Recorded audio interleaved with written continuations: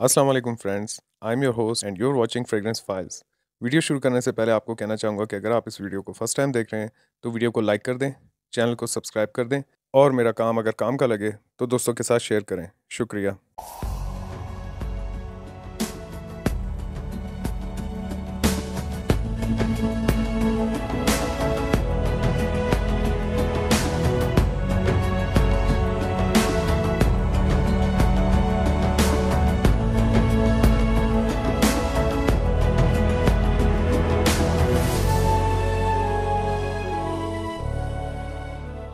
सो आज जिस फ्रेग्रेंस का हम रिव्यू करने जा रहे हैं, उसका नाम है Cedrat Boise by Mancera 120 twenty की बॉटल है ई डी कंसनट्रेशन है इसका।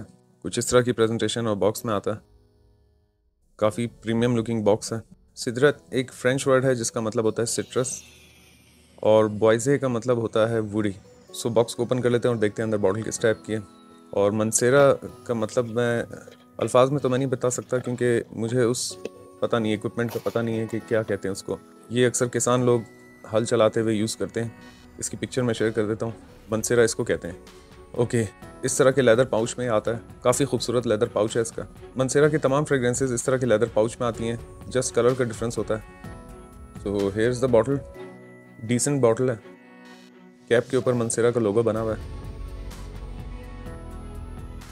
यहाँ इसका प्रोडक्ट कोड है, जिसे आप बॉक्स के साथ मैच करके चेक फ्रेश डॉट कॉम पर चेक कर सकते हैं। Mancera is basically a niche luxury house और फ्रेगरेंसेज में काफ़ी अच्छा काम कर रहे हैं। शुरुआत में मोन्टेल और मंसेरा एक ही ब्रांड था। इसके ओनर का नाम पेरी मोन्टेल है, जो कि अपनी बेटी के साथ इस कंपनी को रन कर रहे हैं। बाद में इस कंपनी के बीच में क्या हुआ कि एक मोन्टेल के नाम से आती है और अब एक मंसेरा के नाम से आती है। बॉटल और प्रेजेंटेशन काफ़ी हद तक सिमिलर होती है इनकी। जस्ट लोगों का और थोड़ा बहुत फ़र्क है। शुरुआत में ये स्क्रू कैप्स में आती थी, लेकिन आजकल ये मैग्नेटिक कैप में आ रही है। क्योंकि हमारे जहन में होता है कि हम कैप को खींच के खोलें और स्क्रू कैप के साथ मसला ये कि आप उसके साथ अगर ज़ोर लगाएँ तो वो ब्रेक हो सकता है। वैसे तो मेटल का होता है, कैप भी और ऑटोमाइज़र भी। लेकिन ज़ोर लगाने पर बॉटल टूट भी सकती है। ज़ाहिर नीचे शीशे की बॉटल है। अगर आप इसके कैप को ट्विस्ट करेंगे तो वो ईजिली खुल जाएगा। लेकिन अगर आप इसको खींच के निकालेंगे तो थोड़ा ज़ोर लगेगा, क्योंकि बहुत स्ट्रॉन्ग मैग्नेटिक कैप है। शुरू में स्क्रू कैप्स आते थे, उनका स्प्रे भी काफ़ी डिफरेंट होता था। वैसे तो मनसेरा की बहुत सारी फ्रेगरेंसेज हैं। लेकिन सिदरत बॉयसे का एक और इन्होंने फ्लैंकर निकाला था सिदरत बॉयसे इंटेंस के नाम से। और वो इससे काफ़ी डिफरेंट है। ये क्योंकि थोड़ा सा शार्प और फ्रेश कैटेगरी का परफ्यूम है। वो थोड़ा सा स्मूथ स्ट्रॉन्ग स्वीट है, क्योंकि उसके अंदर कम्बोडियन ऊद है। सो ये दोनों काफ़ी हद तक एक दूसरे से डिफरेंट है। इसके नोट्स के बारे में बात कर लेते हैं। इसके टॉप नोट्स में Sicilian lemon black currant bergamot और स्पाइसी नोट्स हैं। मिडिल नोट्स में फ्रूटी नोट्स पचूली लीफ और वाटर जैसमिन है। बेस नोट्स में cedar leather sandalwood vanilla white musk और मॉस है। ओके सो अब बता देता हूँ कि खुशबू किस टाइप की है। इसका फ़र्स्ट इंप्रेशन कुछ इस तरह का है कि जैसे ही आप इसको स्प्रे करेंगे तो ओपनिंग में आपको थोड़ा सा सिट्रसी लेमन के साथ साथ हल्का सा बर्गमा और फ्रूटी नोट फील होगा। कुछ देर के बाद जब इसका ओपनिंग सेटल डाउन हो जाएगा, इसमें बर्गमा लेमन स्पाइसेस और हल्के से फ्रूटी नोट्स फील होंगे।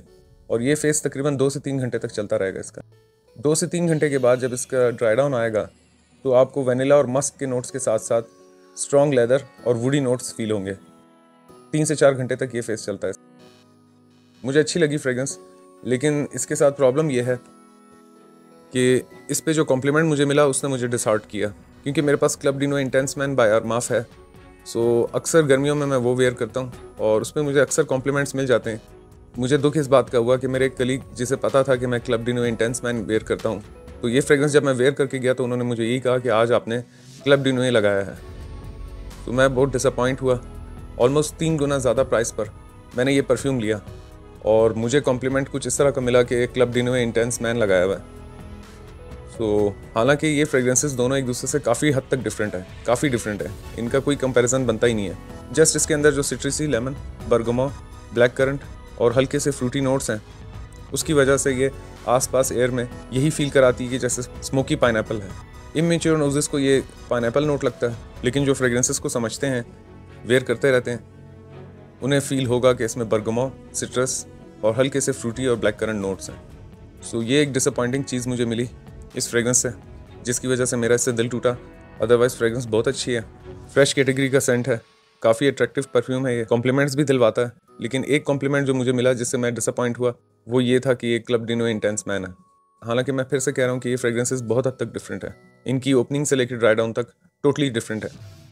फीमेल्स को इस टाइप की फ्रेश फ्रूटी और स्पाइसी फ्रेगरेंसेस पसंद आती हैं। सो इस टाइप का सेंट प्रोफ़ाइल बहुत अच्छे तरीके से जानता है कि आपको कॉम्प्लीमेंट्स किस तरह दिलवाने एज की बात कर लेते हैं, क्योंकि एक फ्रेश कैटेगरी का मेच्योर और मेस्कुलिन सेंट है। सो 25 प्लस किसी भी एज के मेल इसे वेयर कर सकते हैं। ये एक ऑल वेदर फ्रेगरेंस है। आप इसे समर विंटर स्प्रिंग फॉल किसी भी सीज़न में वेयर कर सकते हैं। स्ट्रॉन्गली वर्सेटाइल फ्रेगरेंस है। आप इसे कैजुअली वेयर कर सकते हैं फॉर्मली वेयर कर सकते हैं office college indoor outdoor party किसी भी ओकेजन किसी भी फेस्टिवल पे वेयर कर सकते हैं। प्राइस की जहाँ तक बात है, आज की डेट में जिस डेट को ये वीडियो अपलोड कर रहा हूँ, इसकी प्राइस बाईस हज़ार रुपये से लेके चौबीस हज़ार रुपये तक के बीच है। परफॉर्मेंस की बात कर लेते हैं। चार से पाँच घंटे इसकी प्रोजेक्शन है और शुरू के दो से तीन घंटे ये हैवीली प्रोजेक्ट करता है। और लास्टिंग इसकी दस से ग्यारह घंटे कपड़ों पर मिलती है। हालाँकि इस तरह का सेंट डी एन ए छः से सात घंटे लास्टिंग देता है, लेकिन ये एक क्वालिटी सेंट है सो इसकी लास्टिंग और प्रोजेक्शन का कोई मसला ही नहीं है। और अगर इस फ्रेगरेंस को एक नाम देना हो तो मैं दी ऑल राउंडर नाम दूँगा। काफ़ी एलीट अट्रैक्टिव और क्लासी सेंट है पार्टी और डेटिंग सेंट है। इसे रेटिंग दे देते हैं। सेंट प्रोफ़ाइल को मैं दूँगा eight out of ten presentation को मैं दूँगा eight out of ten projection को मैं दूँगा nine out of ten lasting को मैं दूँगा नाइन आउट ऑफ़ टेन और प्राइस को मैं दूँगा सेवन आउट ऑफ़ टेन। ये एक कमर्शियल बॉटल है। ये अपने टेस्टर वेरिएंट में भी आता है, जो कि नॉट फॉर सेल है और इजीली अवेलेबल है मार्केट में। कमर्शियल और टेस्टर में फ़र्क ये होता है कि कमर्शियल अपनी फुल प्रेजेंटेशन के साथ होता है और टेस्टर थोड़ा सा प्लेन लुकिंग बॉक्स में होता है। बट बॉटल सेम होती हैं और जूस क्वालिटी भी सेम होता है।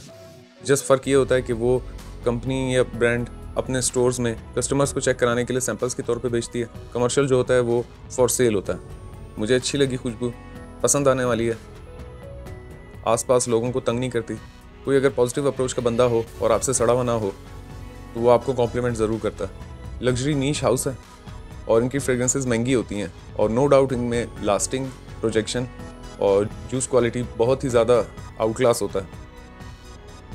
इसके क्लोन के बारे में भी बता देता हूँ। पेरिस कॉर्नर के एमीर सीरीज़ में सिदरत एसेंस के नाम से इसका डायरेक्ट क्लोन है, जो कि 70 टू 80 परसेंट इससे सिमिलर है। मैंने उसका डीकेंड खुद उनकी वेबसाइट से परचेज करके ट्राई किया है। थोड़ा सा लास्टिंग और जूस क्वालिटी में थोड़ा सा फ़र्क है। अब ज़ाहिर सी बात है, इनकी प्राइसेस में भी डिफरेंस है तो सेंट क्वालिटी में भी फ़र्क होगा।